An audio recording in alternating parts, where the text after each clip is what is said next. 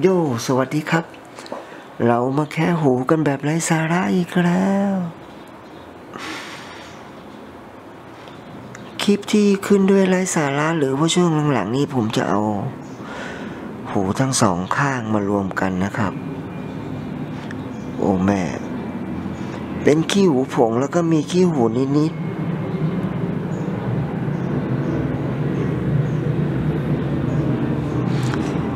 ทคนิคที่ผมใช้ก็คือค่อยๆดัน ผมไม่ได้ขูดเข้าหาตัวนะครับ แต่ใช้วิธีดันเข้าไปแล้วก็แซะแซะแล้วค่อยๆงัด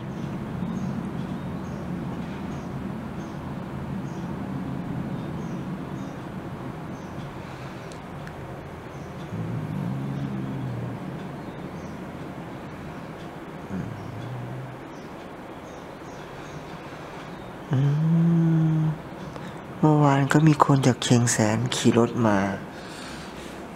วันนี้ก็อ่า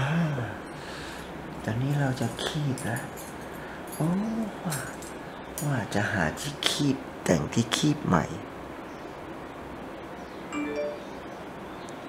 นี่ไงเห็นไหม ดู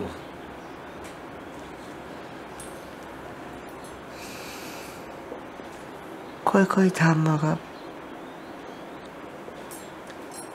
ยังเหลือนี่อีกนิดนึง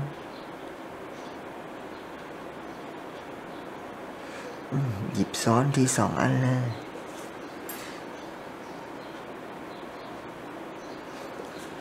ตอนนี้บริเวณด้านหน้านี่ก็คิดว่าออกได้ดีแล้ว ที่เหลืองเงี้ยแค่ขูดเข้าขูดออก มันก็จะหลุดออกมาแล้วนะครับ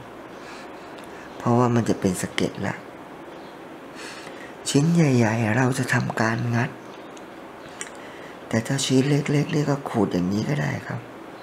เพราะมันเป็นขี้หูผงอืมผมย้ายแสงแล้วก็งัดบริเวณนี้อะมุมนี้จะได้เห็น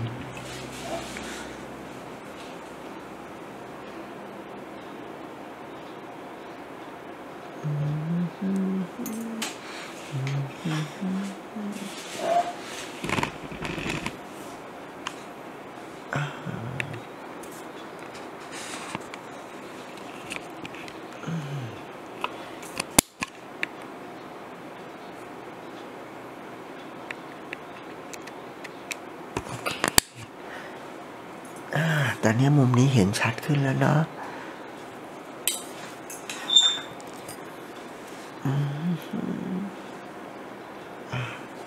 อันนี้ผมก็จะได้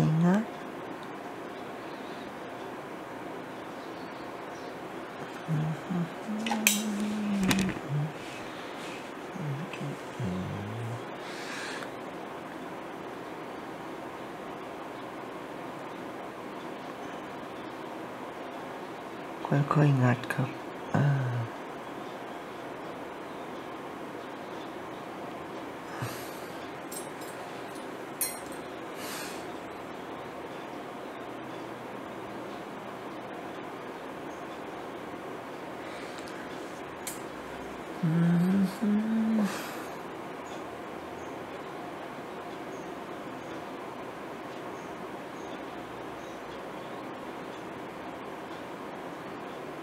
คิดว่าไม่น่า จะมีขี้หูเลย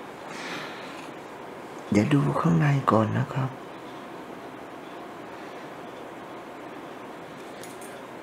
ตอนนี้ก็เหลือแต่ขี้หูผงๆ แล้วก็เป็นสเก็ดกับสเก็ดข้างใน เนี่ยมันจะเป็นสเก็ดผงอย่างเนี้ย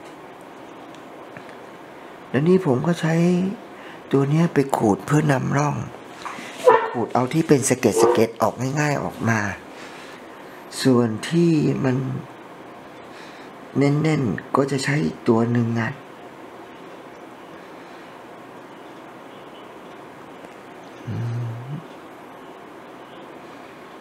ตะเกาอย่างเงี้ยลูกค้าจะเพลินมาก ตรงนี้เจอจุดที่จะงัดแล้ว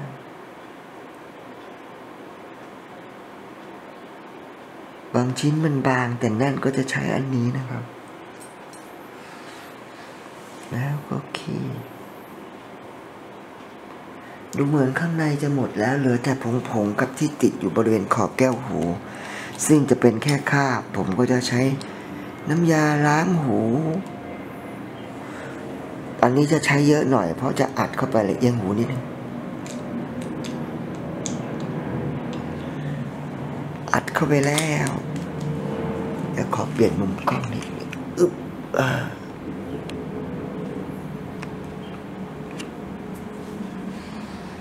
ผม อัดน้ำยาเข้าไปแล้วก็ทิ้งไว้สักสองถึงสามนาที ในระหว่างนี้เราก็จะเกาไปเล่นๆ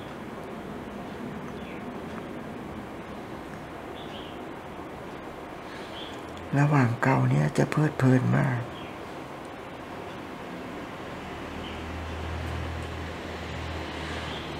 คิ้วหูที่ติดอยู่ก็จะหลุดออกมาด้วย ส่วนที่เป็นคราบเหลืองๆของไขมันก็จะละลายมากับน้ำยา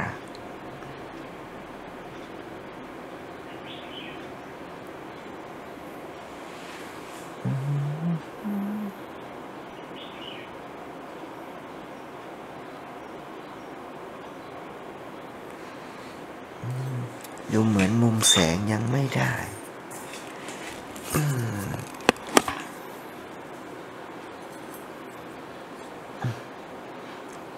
ไม่บังเงาแล้ว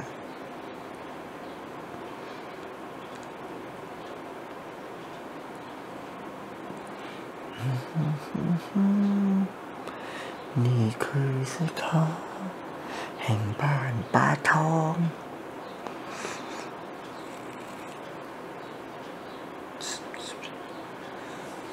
ควรทำให้เห็นแก้วหูด้านในนะครับ ตอนนี้ก็คิดว่าน่าจะพอละ ดูนะครับผมไม่ได้ใช้เยอะ ที่ทำขั้นแรกเนี่ยก็คือเราต้องหนีบตรงบริเวณนี้ให้แน่น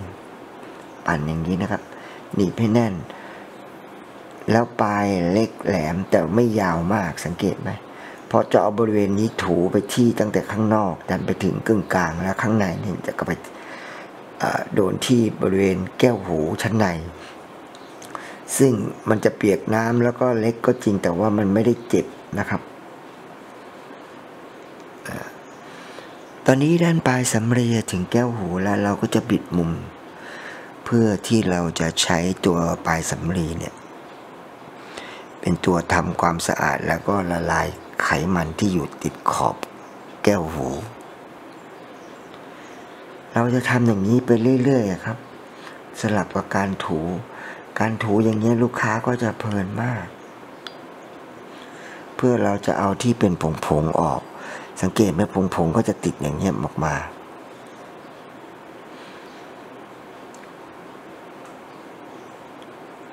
ดึงออกมาก่อนนะครับ เห็นไหมมีเศษผงๆเราก็เอามาเคาะออก อืม เราก็จะทำหมุนสลับ หมุนสลับไปกับออตอนนี้ลูกค้าอาจจะรู้สึกเออเพราะว่าน้ำยาอยู่ข้างใน เราเข้าใจแต่เราจะเอา ไอ้คาบไขมันถูๆให้ออกหมดก่อน แล้วตอนหลังเราจะใช้สำลีไปซับที่เป็นคาบไขมันเหลืองๆออกทั้งหมด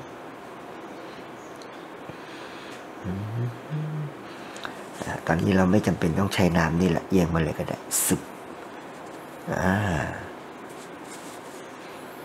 เดี๋ยวนี้เราจะดูอีกว่ามีอะไรอีกไหมโอเค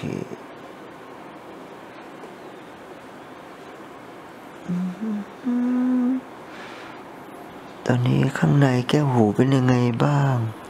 โอ้ยตายละ เสร็จผม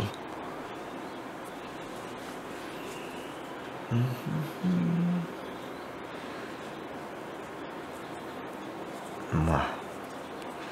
ตอนนี้เราก็จะแค่ทำการ ซับนะครับนั้นจะทำเล็กและบางยาวมาก เพื่อที่ปลายสำลีจะไปโดนขอบแก้วหูแล้วก็ซับที่มันเป็นไขมันที่มันเหลวแล้วจากน้ำยาละลายไขมันเนี่ย แล้วก็ดูดซับออกมา สังเกตตรงปลายไหมครับ ปลายสำลีที่แฉะอย่างเงี้ยแล้วก็มีสีเหลืองเราจะทำอย่างนี้ไปเรื่อยๆ จนที่ปลายสำลีแห้งแล้วไม่มีสีเหลือง ซึ่งถึงตรงนั้นก็คือการปั่นเล่นๆแล้วครับ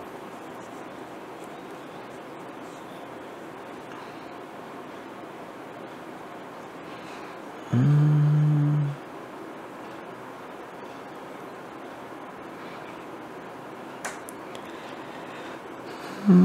ตอ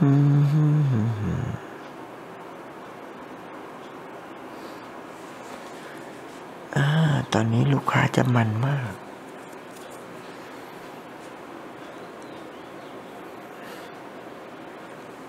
อนนะ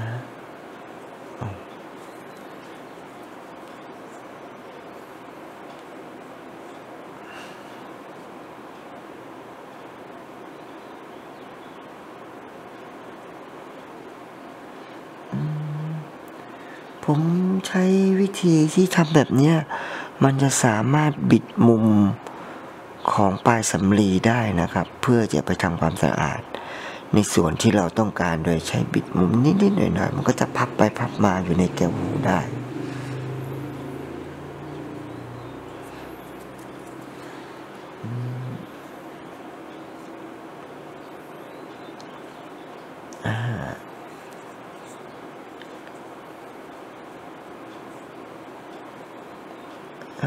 ถ้าทำอย่างนี้ได้เนี่ยปลายสำลีจะถูกบังคับได้ง่ายนะครับ แล้วมันจะไม่เป็นก้อนกลมแบบคอตตอนบัตซึ่งจะสามารถซับและทำความสะอาดได้ ขณะเดียวกันก็จะช่วยทำให้แก้วหูเนี่ยเหมือนนวดแก้วหูเบาๆแล้วเพลินนะครับ อืม ตอนนี้ขี้หูก็หมดแล้ว ลูกค้าก็โล่ง เดี๋ยวเราจะไปดูข้างโน้นกันต่อโอ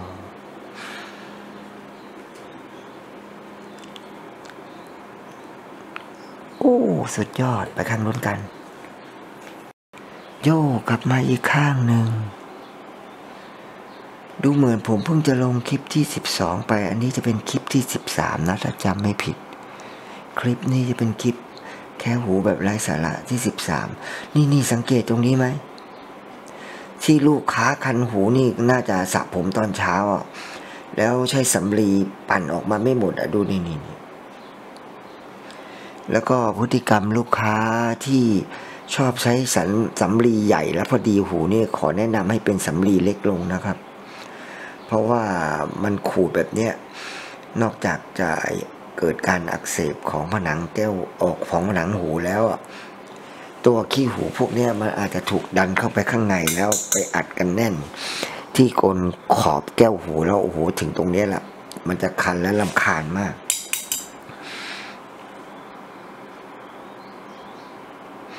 อันนี้ก็เลยกลายเป็นขี้หูผงที่ถูกความชื้นจากการสระผมหรืออาบน้ำเนี่ยทำให้เฉอะแฉะไปด้วยนะครับ ก็เลยขูดออกง่ายมาก ผมไม่ได้ใช้เทคนิคแบบไอ้ข้างนู้นที่ว่า ค่อยๆแซะและดันเข้าไปแล้งัดนะครับ ผมใช้ขูดออกมาเลย เพราะว่ามันมีความชื้นอยู่แล้วขูดจากภายนอกเนี่ยคงเข้าไปถึงตรงส่วนกลางของหู ก็ คนขูดก็เพลิน คนโดนขูดก็เพลิน ความรู้สึกตรงๆ เวลาโดนขูดอย่างเงี้ย ผมก็บรรยายไม่ถูกนะครับ เพราะว่าโดยตัวผมเองเนี่ย ก็ไม่เคยทำต้องถามลูกค้า เพลินมันเนี่ยทำจริง เฮ้ยแกตอบแต่แกพยักหน้าลูกค้าไม่รู้ สุดเลยเออโอเค หลังจากที่คุณลูกค้าผมพยักหน้ากับเพื่อนดูบอลด้วยกันเนี่ยแหละครับ ผมก็เลยบังคับให้เขาพูดเพราะว่าแฟนคลับจะได้ได้ยิน พอถึงจุดหนึ่งเมื่ออยู่ข้างในแล้วจะเลยข้างในไปถึงตรง ขอบแก้วหูต้องช้าลง แล้วก็ระยะน้อยลงอ๋อเจอขี้หู ใช่ป่าวะ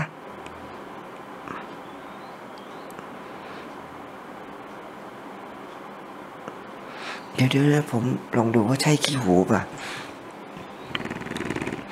ผมต้องเปลี่ยนมุมกล้องหนึ่งแล้วก็เปลี่ยนแสงครับ เพราะว่าแสงนี่บอกตามตรงเราไม่ได้สามารถเห็นทุกมุมของในหูได้นะ เพราะหูแต่ละคนจะมีเนินไม่เหมือนกัน แต่เมื่อกี้ผมสัมผัสได้ที่ปลายเครื่องมือว่ามัน โดนขี้หูหรือเปล่า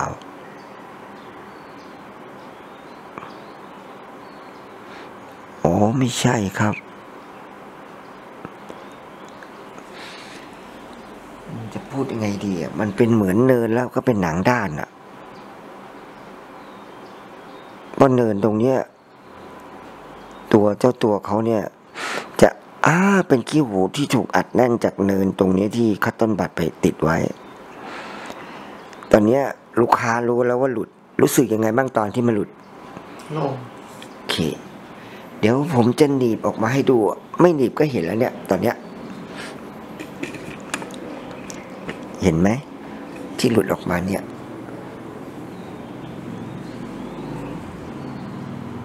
นี่ก็จะหนีบเข้ามาให้เห็น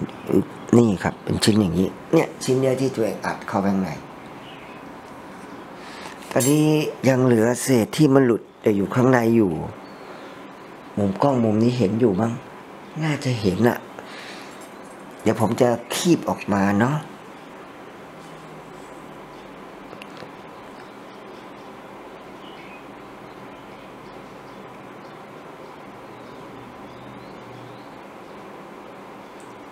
โอ๊ยหลุดออกมาละอืม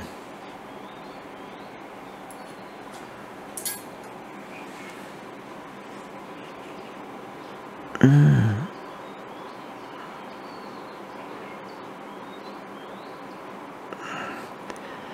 ตอนนี้ไม่น่าจะมีปัญหาอะไรครับ ผมจะขูด ผงผงนี้ออก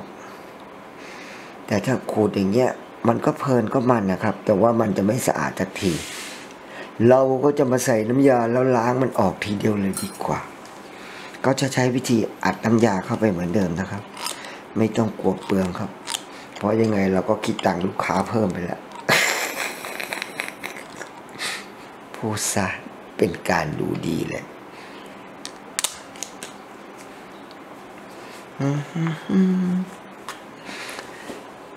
ถึงตรงนี้จะอย่างมันมากเลย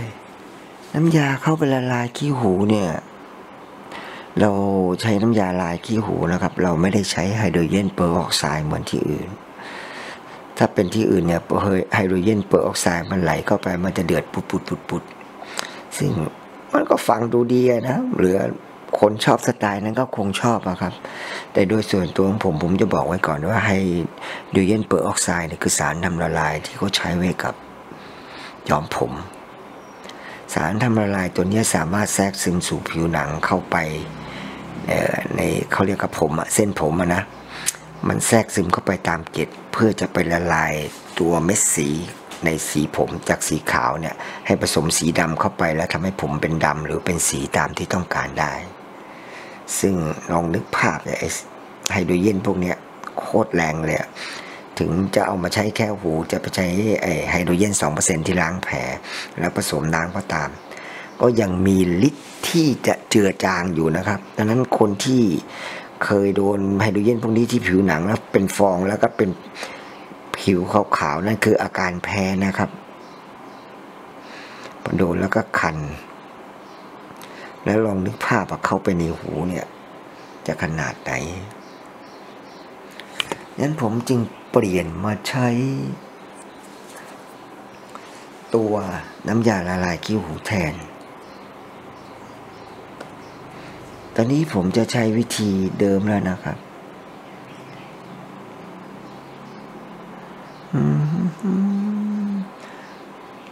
ตอนนี้ก็หมุนไปทางเดียวก่อน เพราะว่า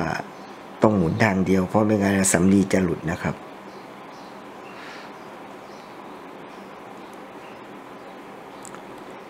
จริงๆ เนี่ยผมอยู่ตรงเนี้ยผมสามารถบิดมุมไอ้ตรง ตอนนี้ไปสำลีไปที่แก้วหูแล้วแล้วก็ค่อยขยับมุมทีละนิด แต่ที่ผมทำอย่างเงี้ยเพื่อให้ดูว่า มันรอบๆหูจริง ๆ ไม่ใช่หรอกครับ อยู่เฉยๆอย่างเงี้ยมันก็ทำให้ปลายไปทั่วได้ โดยใช้วิธีเทคนิคหักมุมนิดๆหน่อยๆสลับกับการถูออกอย่าถามลูกค้าดีกว่าว่า ถูอย่างนี้เป็นไงบ้างถูอย่างนี้รู้สึกยังไง เพลินส่วนเวลาหมุนงี้ที่ไปโดนแก้วหูรู้สึกไงก็เพลินคนละแบบต อนนี้จะมีคนสงสัยว่าทำไมผมต้องใช้สลับกับการหมุนแล้วก็การถู หมุนเนี่ยผมตั้งใจไปที่ขอบแก้วหู กับบริเวณด้านในชั้นในแก้วหูเพื่อทำความสะอาด ให้น้ำยาละลายไอ้ขี้หูผง หรือว่าคราบไขมันในหูเนี่ยละลายออกมาให้หมด ส่วนไอ้ที่ผมถูเนี่ยผมต้องการด้านนอกกับตรงกลาง แต่ว่าผมก็ไม่ทำเข้าไปลึกนะครับ เพราะว่าปลายสำลีเนี่ยมันเปียกน้ำอยู่ มันจะหนักกว่าเดิมแล้วมันไม่ได้แหลมเล็กสังเกตไหมเพื่อที่จะบังคับ ให้อ่อคาบไขมันเนี่ยติดผมก็เลยใช้วิธีนี้ แต่ปลายสำลีก็ยังไม่ได้กระแทกหูมากจนถึงอาการบาดเจ็บนะครับแต่นี้ช่างใหม่ ๆ ถ้าจะใช้เทคนิคนี้ต้องค่อยๆดูนะครับ ค่อยๆดูแล้วก็บางทีผมพูดไปอาจจะไม่ต่อเนื่อง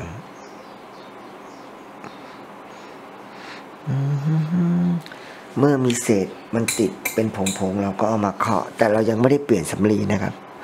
เพราะว่าจะใช้ตัวนี้อยู่ ขั้นตอนและวิธีการพวกเนี้ยถึงจะนานก็จริงนะครับ แต่ว่าสร้างความเพลิดเพลินแล้วก็สะอาดมากๆ จริงๆเนี่ยสะอาดเนี่ยทำแป๊บเดียวครับ แต่ตอนเนี้ยเราถ่ายวิดีโอแล้วลงเพื่อต้องการให้แฟนคลับเนี่ยได้ดูเพลินๆ พอรู้ว่าแฟนคลับมีความสุข จากการที่นั่งปั่นอย่างนี้ผมก็จะทำนะครับ หวังว่าอีกสี่ปีห้าปีข้างหน้าจะมีคนติดตามถึงแสน ถึงตรงนั้นเนี่ย ผมจะได้มีรายได้กับเขามั่ง ก็คาดหวัง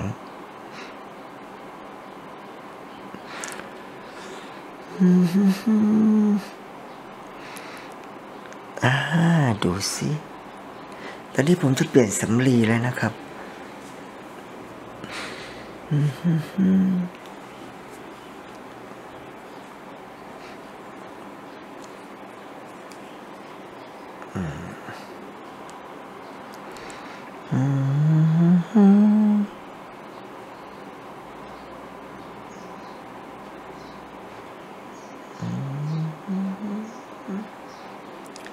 นนี้ส่วนใหญ่จะทำความสะอาดด้านนอกกับตรงกลางหูนะครับแล้วก็ดูว่ามีเศษผงอะไรอีกไหมรอยถลอกเก่าหรืออะไรเนี่ย มีก็ต้องดูด้วยนะครับ ว่าจะมีแผลมีอะไรหรือเปล่า สรุปว่าไม่มี เราก็จะไปกันต่อ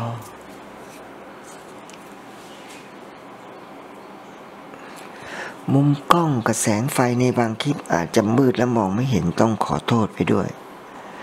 เพราะว่ามันเป็นขีดจำกัดที่ผมไม่สามารถทำได้ ส่วนกล้องมาโครที่ซื้อมาใช้ ผมขี้เกียจใช้อะตัดต่อสองอย่างก็พอละ เพราะว่าไอตัวใช้กล้องมาโครมันทำคนเดียวแล้วมันเสียเวลา เข้าโปรแกรมนู้นเข้าโปรแกรมนี้เสียเวลาเล่น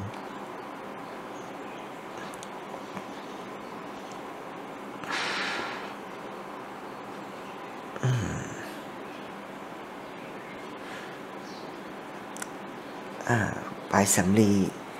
ก็ยังแฉะอยู่นะครับ ด้านในตอนนี้ผมจะเข้าไปที่ปลายแก้วหูแล้วนะครับนั้นปลายแก้วหูนี่สังเกตดูนะครับ ปลายจะเล็กจะเสียม แล้วก็สำลีไม่ได้จะเป็นจำนวนเยอะ ขณะเดียวกันก็หมุนแล้วก็บีบให้เล็กที่สุด ส่วนปลายก็ให้เลี่ยมเรียวที่สุด เห็นไหมเล็กจนสามารถทำให้แสงเนี่ยลอดผ่านและมองเห็นที่ปลายแก้วหู แล้วเราก็แย่ไปที่ปลายแก้วหูแล้วก็สับการทำลักษณะนี่ยจะสร้างความเพลิดเพลินให้ลูกค้ามาก ปลายแก้วปลายสำลีจะนวดแก้วหูเบาๆ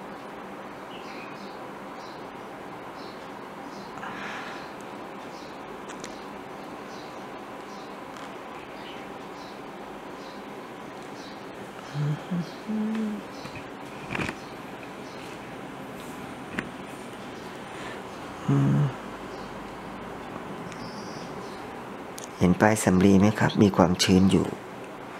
เราก็จะเปลี่ยน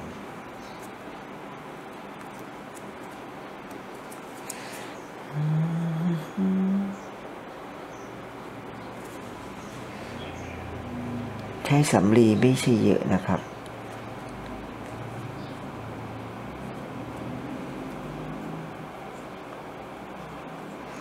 ยิ่งเล็กนี่ก็จะยิ่งทำให้ เพลินต่อการปั่นมากตอนที่สัมผัสที่แก้วหู แต่ก็ไม่ใช่อ่อนจนควบคุมไม่ได้ที่จะแทงเข้าไปนะครับ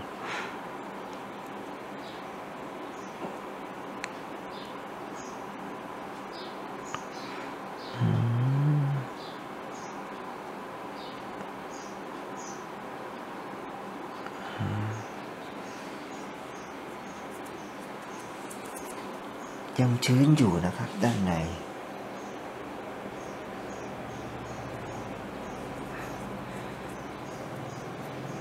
คาดว่าอีกไม่เกินสองครั้งก็น่าจะเสร็จ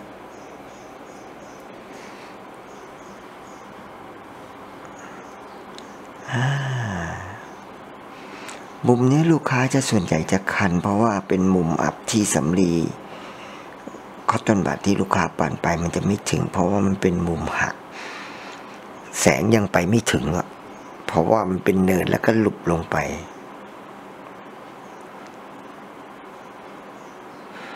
แสงเดินทางตรง มันไม่ได้อ้อมตามเนิน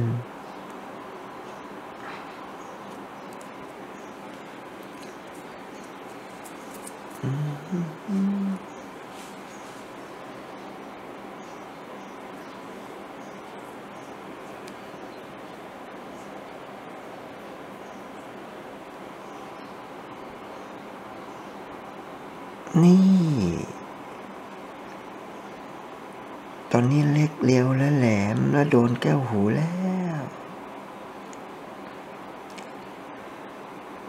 เราจะปั่นรอบนี้เป็นรอบสุดท้าย เราจะไม่ให้เกินหนึ่งนาที เราจะไม่เข้าไปลึกมาก เดี๋ยวแก้วหูจะอักเสบได้ ถึงก็นั้นก็เพลินโคตร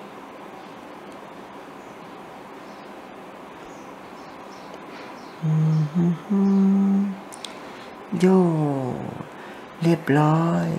ชอบช่วยกดไลค์กด subscribe ด้วยนะ เป็นไงเสร็จแล้วเพลินไหม